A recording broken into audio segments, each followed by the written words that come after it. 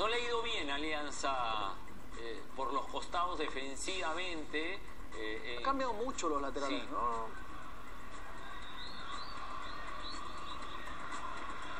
Este fue Solís que, que tuvo a mal traer en todo caso ahí a, a Uribe, es el que estaba. ¿no? Claro, se han alternado como el lateral derecho Guisasola y Uribe, de características me parece... eh, eh, Uno más ofensivo, el otro sí, defensivo. el otro igual, ¿no? Pero Y por raro el otro porque- lado lo mismo con, con Duclos y con Trujillo, ¿no? De local a veces suele jugar Uribe y no Guisasola. eh, Dentro de las características, me refiero, más ofensivas de, de cada uno, ¿no? lo natural uno podría pensar es que el más ofensivo juegue de local, ¿no? pero no necesariamente ha sido así. Sí, como que no ha expuesto mucho Mosquera a, a Guisasola y a Trujillo jugando en Matute, ¿no? Más creo por un tema de, de presión, por un tema de,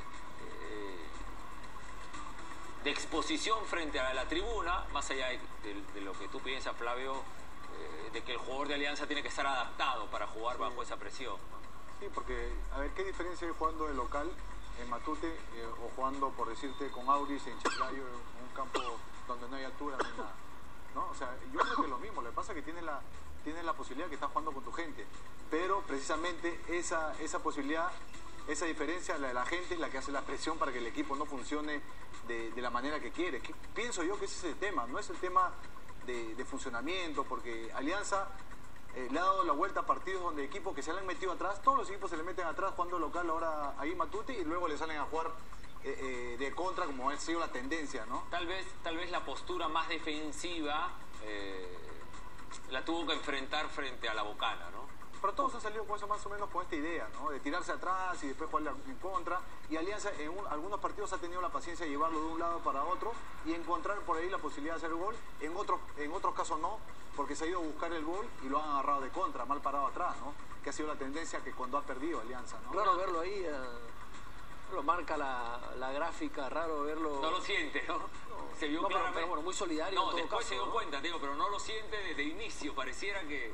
Sí, bueno. ah, por características, ¿no? Sin embargo, le- lo hace, eh, más allá que, que pensamos eh, que le resta, me parece, energías a, a un jugador eh, claramente ofensivo, Como claramente Pajoy. ofensivo El y determinante, y determinante dentro de lo que ha sido Alianza en ataque, ¿no? Tendríamos que preguntarnos qué, bueno, estás hablando tú de un tema de que Alianza juega local y juega con laterales que son netamente defensivos, no son ofensivos como puede ser Isasola, como puede ser Trujillo, jugando de local, ¿no? Pero habría que ver en qué momento está pasando Trujillo, en qué momento está pasando Isasola, pues no sabemos nosotros en el día a día del entrenamiento. Queríamos saber para preguntar cuál es la situación de Isasola y Trujillo, porque dos jugadores con proyección, dos jugadores que pueden sumarse al ataque, dos jugadores que pueden sumar volumen ofensivo, no juegan jugando local.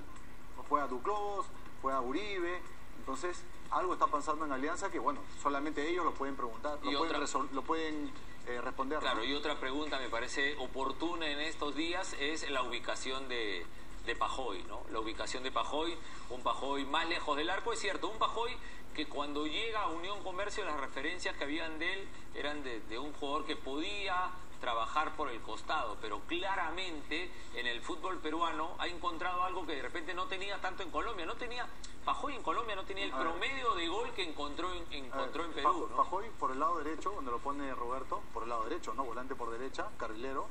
Está, Pajoy está por encima ahí de Manco, está por encima de la Rauri, ¿no? Está por encima de Bazán, que puede jugar por ese lado derecho. O sea, la, eh, Pajoy está por encima de tres jugadores para jugar de carrilero por derecha, ¿no? El técnico de repente lo ve porque tiene el despliegue que debe tener, el, recorrido, esa, esa movilidad, por eso lo convence a Roberto de repente para que juegue ahí. Pero no es la mejor posición de Pajoy, ya lo hemos comentado ahí, que tiene que ser aprovechado por otro jugador.